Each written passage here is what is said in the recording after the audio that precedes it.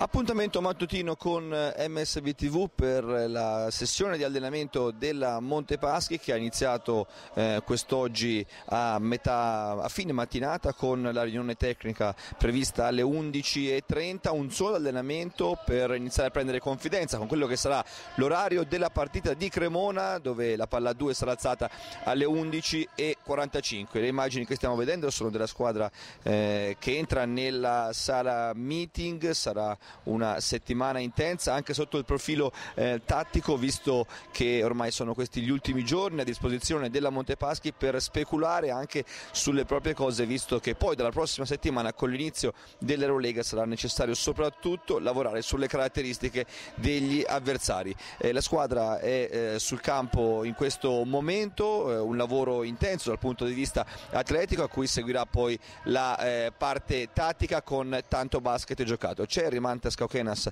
che ha saltato l'allenamento di ieri pomeriggio per un fastidio alla coscia, niente di grave, il giocatore lituano è già sul campo, queste sono le immagini invece di Bome Kalev che non sembra avere eh, problemi dopo il piccolo riacutizzarsi del dolore al piede durante la Supercoppa. Tutti presenti quindi nell'allenamento di Simone Pianegiani in questa eh, carrellata, l'unico in maglia bianca, ma non è una scelta, è soltanto una casualità, è Milovan Rakovic che abbiamo intervistato. Prima dell'allenamento, per lui sarà un'esperienza un po' particolare quella della partita all'ora di pranzo, eh, per, da, negli ultimi tre anni in Russia non ha mai eh, giocato gare in questo orario, la sua precedente esperienza nel campionato serbo di tre anni fa ha parlato di questo e di molto altro, sentiamo.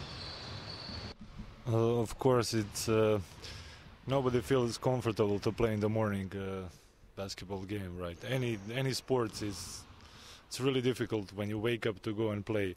So, like you said, uh, last time I had uh, three years ago, and uh, I think I forget how it looks, but now I will have chance to see again. it doesn't matter what time we play, we're gonna go there and not there everywhere. We're gonna go and try to win game and uh, stay on the top because Siena belongs on the top.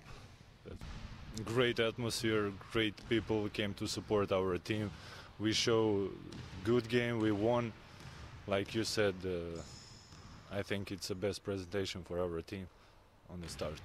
So I hope we're gonna continue with the wins and uh, bring the bring more energy to this uh, city and to this team. Uh, let's say that uh, I'm not 100% ready yet because I had uh, one injury and I missed something like two weeks of practice, and right now I have to work a little bit more to bring better shape. But uh, I'm on a good way. Let's say that I hope in uh, one or two weeks I'm going to be ready 100%. Mentre è iniziata qua sul parquet del Pallamenzana la sessione eh, di basket con eh, i palloni, adesso il riscaldamento, poi il gioco 5 contro 0 prima per mettere in pratica ciò che è stato studiato in sala video, poi il 5 contro 5 per una partita vera. La Montepaschi tornerà ad allenarsi domani con eh, il programma eh, più normale, quello settimanale con due sedute di allenamento la mattina e il pomeriggio. Noi vi terremo aggiornati su tutte le ultime novità qua dal Palamenzana.